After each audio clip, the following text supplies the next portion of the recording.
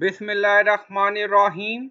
Assalamu alaikum. My name is Hassan and today we are going to set shipping charges per product quantity in WooCommerce WordPress. Before starting work, it's my request please subscribe my channel. Thank you. Now back to our work.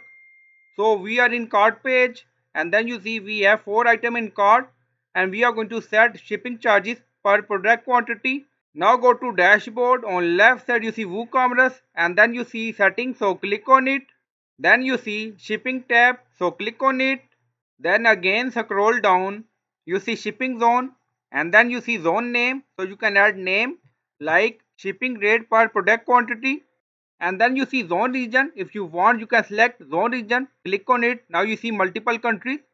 But we don't select because we are using this for all countries. And then you see shipping method. So click on add shipping method button. And then you see pop up drop down select flat rate and then you see button so click on it. Now flat rate shipping method edit so click on edit. Now you see method title if you want you can rename it. And then you see tax status taxable. So currently we are not using tax with our product.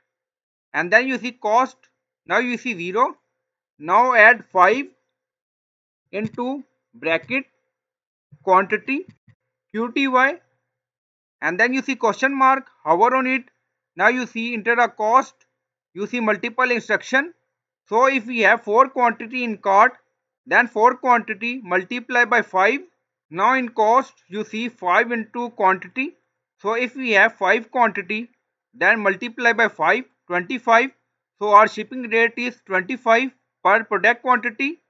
So you can add number according to your requirement. Then click on save changes now setting saved go to cart page and refresh the page. So we have 4 item in our cart now scroll down you see shipping rate 20 because we have 4 item. Now increase. So now we have 5 item and then click on update cart now you see cart updated. You have 5 item in your cart and scroll down you see flat rate 25 so 5 quantity multiply by 5 back to WooCommerce shipping now you see flat rate edit now you see this is our formula so I hope you like this video. Please like, comment, share, subscribe. Thank you for watching.